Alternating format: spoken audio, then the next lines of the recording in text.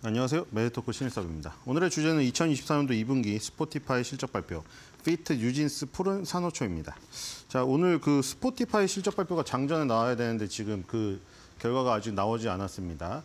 스포티파이, UPS, GE 에어로스페이스, GM, 코카콜라, 컴캐스트, 폴라리스, 그리고 오늘 장 끝나고 어우 셉니다. 테슬라, 구글의 모회사 알파벳, 비자, 텍사스 인스트루먼트, 처브, 그리고 캐피탈 원. 자, 이런 기업들 아주 빡빡하네요. 지금 그 어저께 보여드린 대로 화수, 목 아주 정말 빡빡하게 지금 구성되어 있습니다. 자, 오늘 스포티파이가 첫 번째로 나오는 일정이었는데 이게 뭐 여기에 지금 어닝 리스프에 나온 대로 그대로 나오진 않아요. 시차가 있고 그런 거를 지금 감안을 해서 어쨌든 장전에 지금 나왔고 스포티파이가 중요한 것이 창사 이래 처음 흑자 전환을 기록한 뒤에 이번 분기에 이어 갈런지 말런지를 결정하는 분기이기 때문에 굉장히 중요하다. 그래서 스포티파이 실적을 보겠습니다. 사실 테슬라 실적이 가장 인기가 많을 것 같긴 합니다. 그렇죠? 테슬라가 워낙에 강, 강세기 때문에 그 인기가 그렇죠? 2024년도 1분기 스포티파이에겐 아주 중요한 한 분기였습니다. 자, 이 레비뉴 20% 늘어서 3.6 빌리언 달러.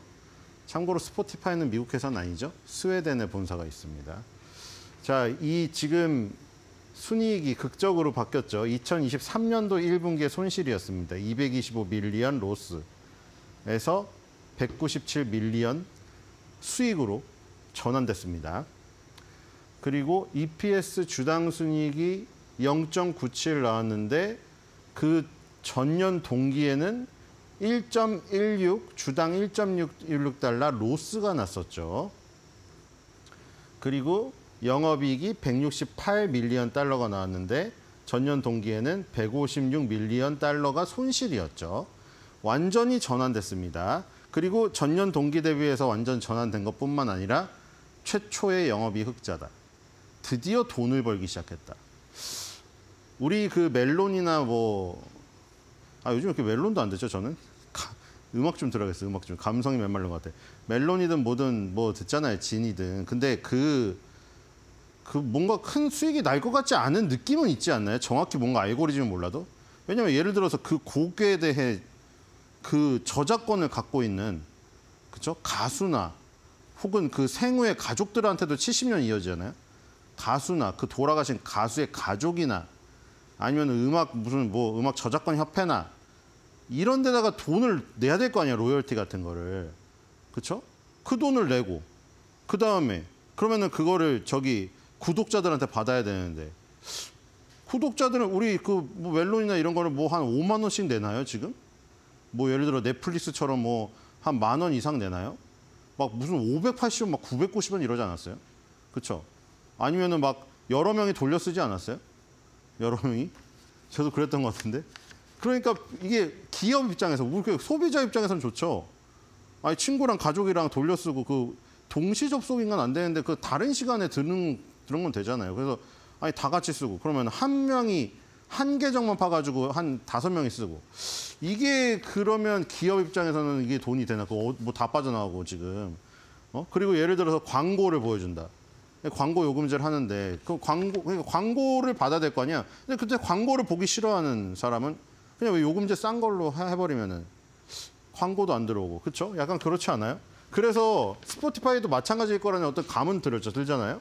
지금 revenue mix가 보니까 프리미엄으로 되네, 프리미엄.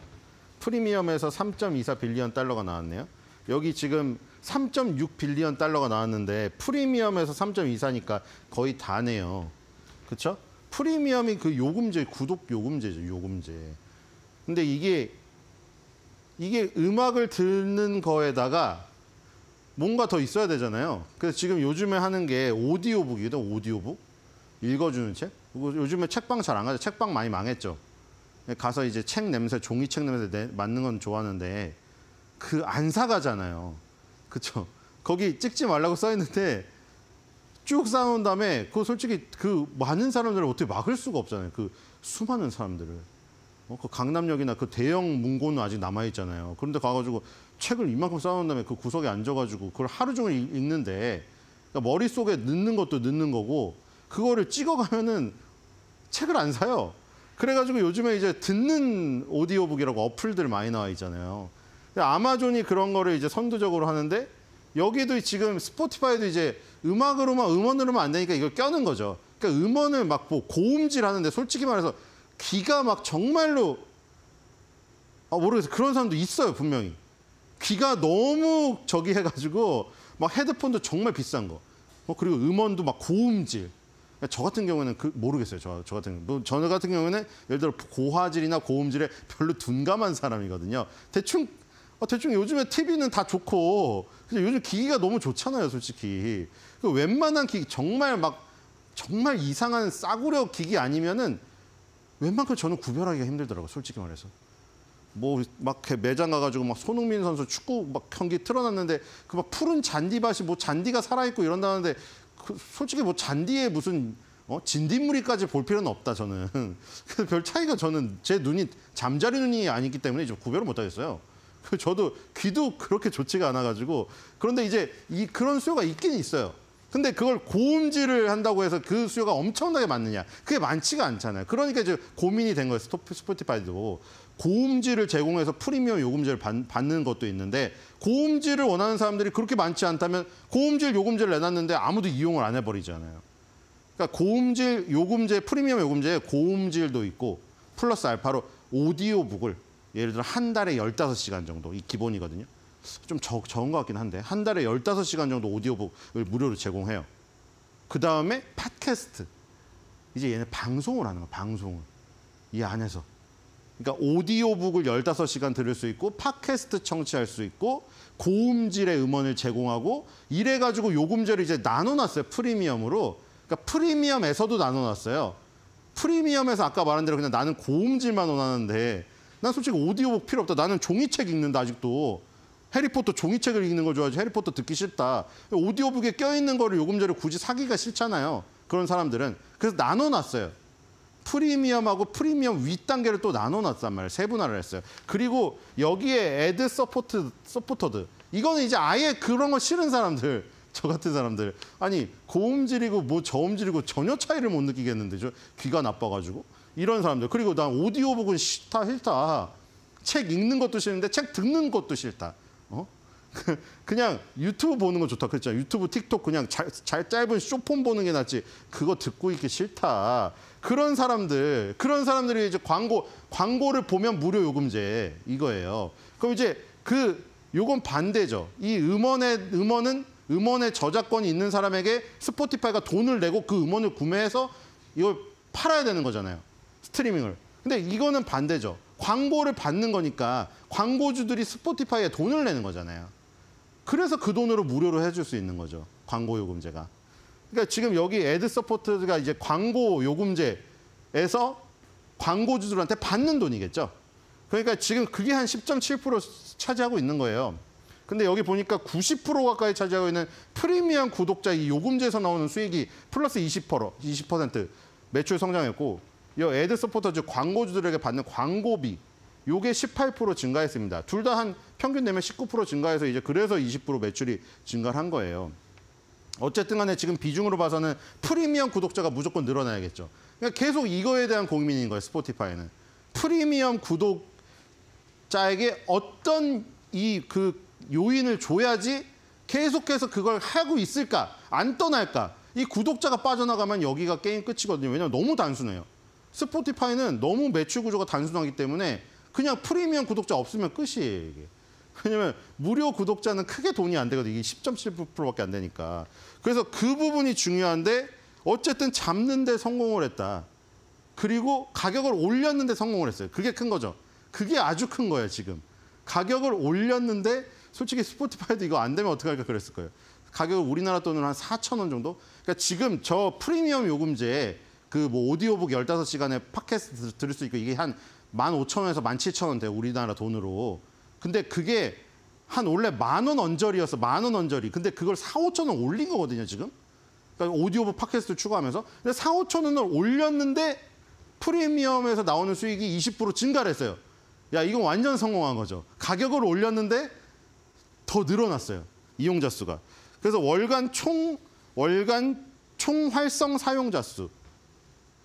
여기 보면은 MAU, Monthly Active User. 그래서 맨날 MAU, MAU 나오잖아요. 그래서 MAU가 지금 꾸준히 늘고 있어요. 2023도 1분기부터 조금 조금 조금 조금씩 계단식으로 늘어가지고 지금 이거를 615로 되어 있는데 이걸 우리나라 그걸로 하면은 6억 6억 1,500만. 6억 한 3, 이 위로 가면 이제 6억 한 3천만 명으로 될 것이다. 2023년 2분기에는 이렇게 예상하고 있어요. 여기 이제 막대 그래프를 만약에 2023년 2분기를 그린다면은 그래서 지금 6억 명이 넘어가고 있다.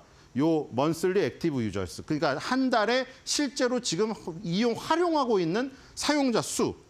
그리고 여기는 프리미엄. 프리미엄 이게 중요하죠. 6억 명이 그 스포티파이 사이트를 들어와서 막 여러 가지 활동들을 하는데 거기서 프리미엄 요금제를 구독을 하는 사람의 비율이 높으면 높을수록 이득이죠. 6억 명, 6억여 명 중에서 아까 2024년 22분기 되면 6억 3천만 명 정도 된다고 했잖아요. 6억 3천만 명 중에서 지금 프리미엄 구독자 수가 한 2억 4천만 명 되네요.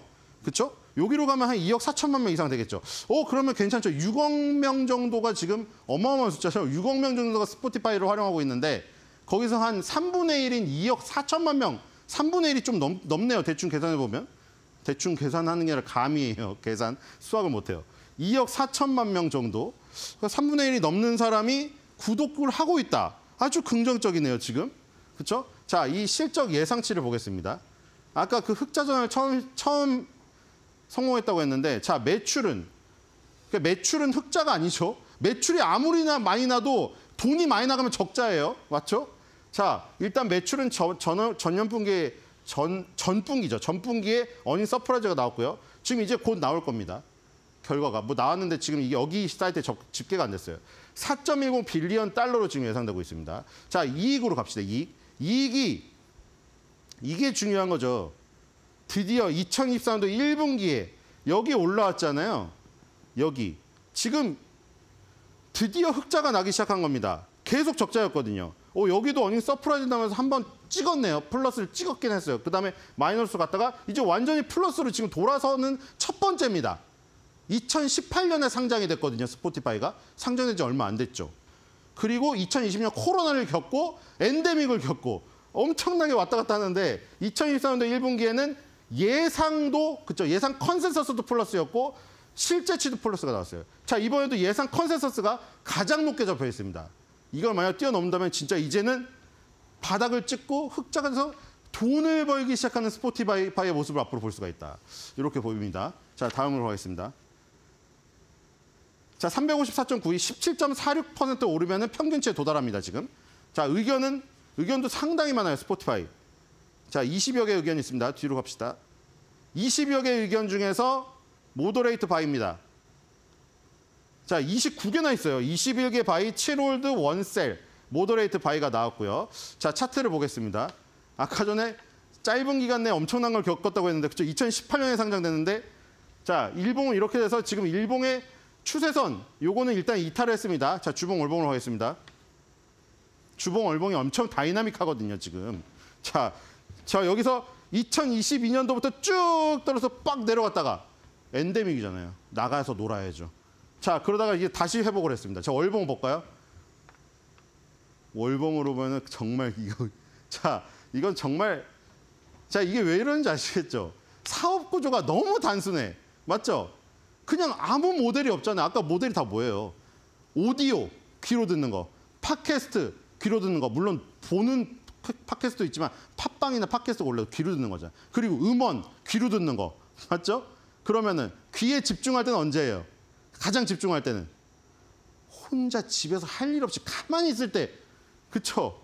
그래가지고 어떻게 했습니까? 그 단순한 구조 때문에 2020년 3월 달에 우한 시장에서 그 폐렴이 벌어지고 코로나로 터지고 나서 이렇게 올라갔다가 자 코로나가 끝나고 엔데믹이 됐어요. 이제 다 나갔어요. 아니 귀, 귀로 집중하는 시대가 끝나서 이제 오감을 즐길 시대가 됐잖아요.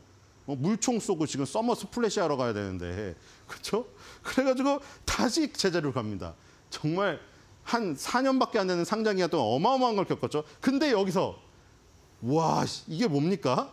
거의 심장 박동 박동수 아닙니까? 심, 심전도 여기까지 다시 갔습니다. 그러니까 2020년도에 코로나가 터지고 최고가를 갔던 그 시점으로 다시 가고 있어요. 그러니까 지금 이, 이 상황 있죠, 이 상황. 이 상황에서는 계속 적자 상태였거든요. 적자, 매출은 났는데 영업이익이 적자 상태였어요. 근데 이거는 코로나로 인해서 뜬 거죠. 근데 지금은 영업이익 흑자란 거를 안고 코로나 고점으로 가고 있다는 게 다른 거예요. 기술적으로만 보면 똑같죠, 지금. 근데 우리가 내용을 봤잖아요. 기본적인 내용을 우리는. 기본적인 내용을 보니까 여기는 영업이익 적자였던 거고 여기는 지금 영업이익 흑자였던 데인데 거의 같은 라인에 가고 있다. 그러면 지금 기술적으로 똑같은데 기본적인 내용이 지금 앞서죠. 그러니까 우리가 여기서 저 고점 돌파나 고점 도전을 한번 도모해 볼 수 있는 시기 라는 것을 지금 알 수가 있습니다. 자, 그래서 스포티파이 2018년에 상장되고 엄청나게 다이나믹한 순간들을 경험을 했는데 자, 이제 한 단계만 남았다. 저 단계를 만약 넘어선다면은 사상 최고가의 사상 최고 영업이익을 기록하는 기술적인 그리고 기본적인 내용의 최고치로 도로- 다다를 수가 있다. 자, 그래서 오늘의 매드평은 스포티파이, 애플파이보다 달콤하고 피칸파이보다 고소해